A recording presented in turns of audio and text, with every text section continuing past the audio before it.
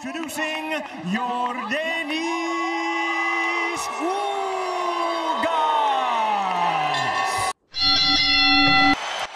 And now making his way to the ring, here is boxing's only eight division world champion, Manny Pacquiao.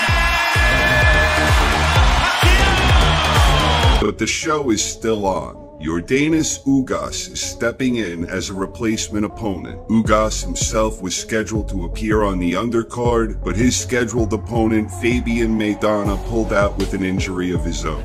So just over a week away, barring unforeseen disaster, boxing fans will get Pacquiao versus Ugas.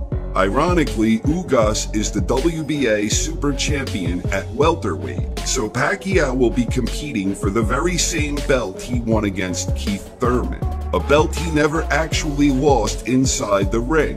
Ugas defeated Abel Ramos by 12-round split decision last September to win the minor WBA regular title. And then the WBA promoted him to super duper status after they stripped Pacquiao for inactivity. And this isn't meant as a criticism for Pacquiao or Ugas or any other WBA title holder. They're just playing by the rules of today. But this entire situation is just another example of how ridiculous the WBA and other alphabet bodies have become. All things considered, Ugas is a tremendous replacement opponent at this late hour. Indeed, this actually might wind up being a far more competitive matchup than we may have gotten between Spence and Pacquiao. Regardless, this is an interesting fight if for no other reason. We will get to see how much the living legend still has left in the tank at 42 years old, going on 43.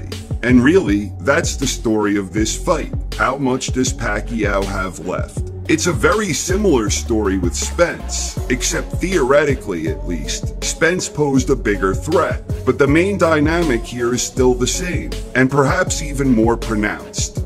The outcome in this one likely boils down to simply how much Pac-Man has left. Of course, Pacquiao was preparing to do battle against a fellow Southpaw, and that dynamic has changed. Style-wise, it's different too. Ugas and Pacquiao deserve a lot of credit too.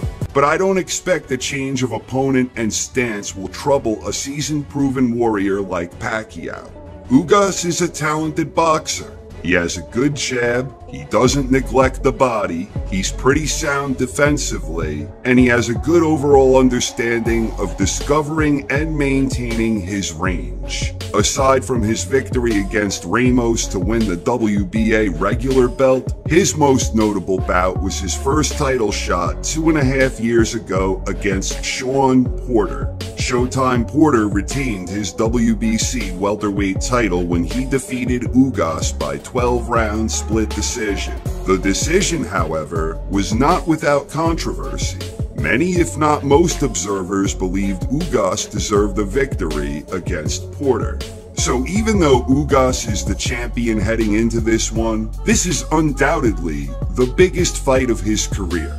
Ugas has the skills and smarts that if he brings his A game and fights a disciplined fight where he is defensively responsible, he actually does have a lot of tools that have been known to cause Pacquiao some problems. But this all circles back to the question of how much Pacquiao has left in the tank.